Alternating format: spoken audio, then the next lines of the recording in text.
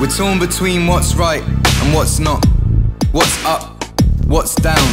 Left or right, deep down, on top, full stops, exclamation mark, punctuation. A hundred percent, straight A's, education, university, job prospects, lost objects, New possessions, new friends, old lessons.